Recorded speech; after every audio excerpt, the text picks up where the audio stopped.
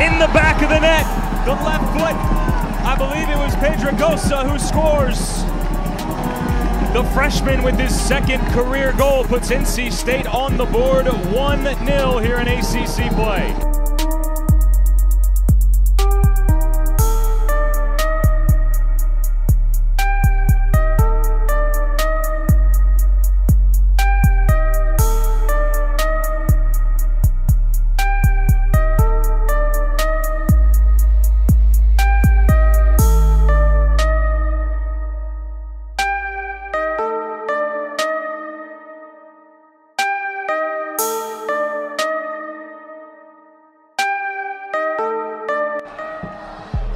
And that will do it.